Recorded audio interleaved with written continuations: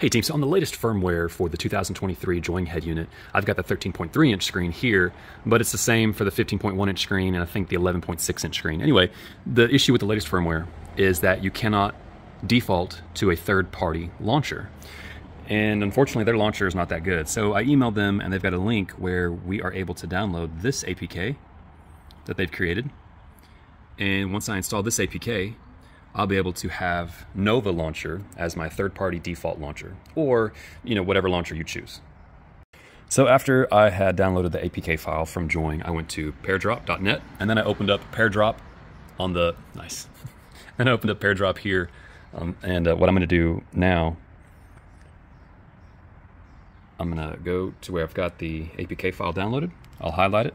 I'll click Open, and then on my device, it asks me to accept or decline. I'm going to accept it and now it's transferring the information over. You don't have to use Pairdrop. There's so many different ways that you can download an APK file onto your Joying head unit.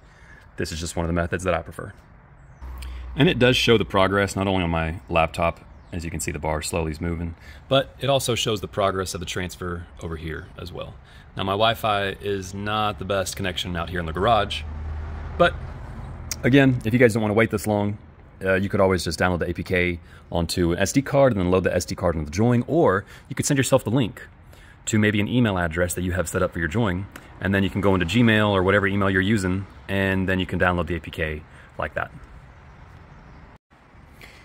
I will say what I do like about ADB App Control is I can type in a word, uh, launch for example, and when I type in launch or launcher, as you guys can see up here, it shows up that uh, that third party um, launcher, which I have here is Nova.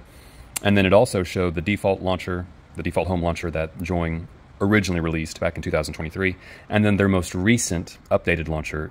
Uh, so I just completely deleted them. The only one that I had uh, backed up was this one, their original one.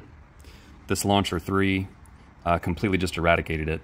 So I love that about ADB App Control is that it gives you a nice GUI. You don't have to use this. This is just what I prefer. So now when I go into default home app, I only have two options. My third-party launcher, which in my case, like I've been mentioning, is Nova 7, or settings.